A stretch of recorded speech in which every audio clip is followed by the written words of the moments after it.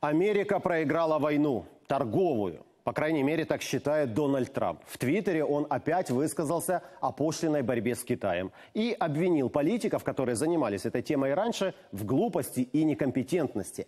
Цифры звучат серьезно. Американский президент утверждает, что Штаты ежегодно теряют сотни миллиардов долларов из-за несправедливых условий торговли с этой страной, а также из-за воровства китайцами американских технологий. США уже анонсировали дополнительные пошлины против китайских товаров на 50 миллиардов долларов. Китайцы пообещали ответить тем же. Ну а Трамп еще повышает ставки. Чем это все может закончиться, разбирался Дмитрий Анопченко.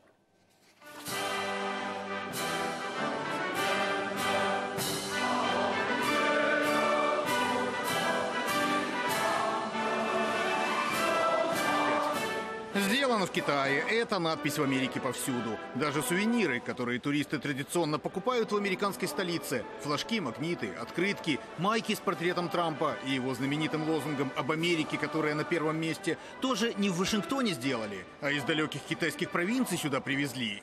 В Соединенных Штатах часто шутят, при этом горько шутят. Мол, какие бы обновки ты ни приобрел, насколько дорогие вещи не купил бы.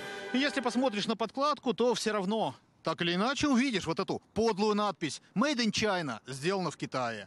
Причем есть здесь и те, кто традиционно гоняются за, казалось бы, исконными американскими брендами, только их покупают. Но стоит посмотреть на классические американские джинсы или вот на кроссовки, все равно нет-нет, да и появится надпись, мол, произведено это все вовсе не в Америке, а в Поднебесной.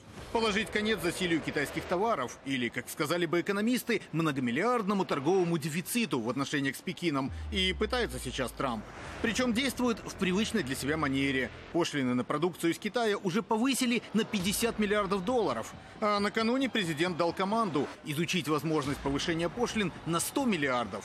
Но ведь понятно, что в Пекине тоже молчать не будут. Там уже объявили о готовности к зеркальным мерам на четверть повысить сборы с товаров, которые Штаты продают. От соевых бобов до автомобилей и самолетов.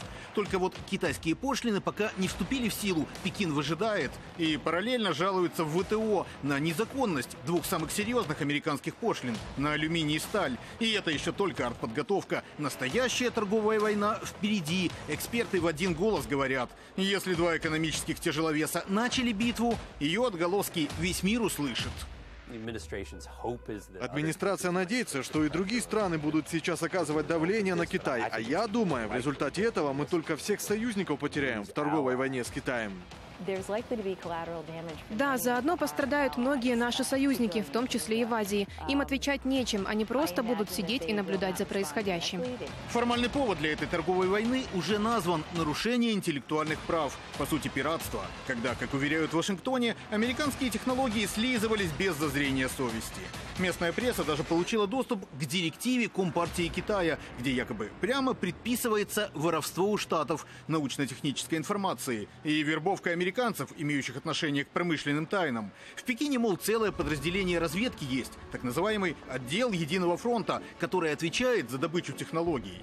Поставить Китай на место Трамп обещал давно, еще не будучи президентом, и теперь взялся за дело. В итоге золото растет в цене, доллар слабеет, финансисты напуганы возможностью спада мировой экономики. Чем все это закончится и кто победит, и победит ли вообще, просчитать невозможно.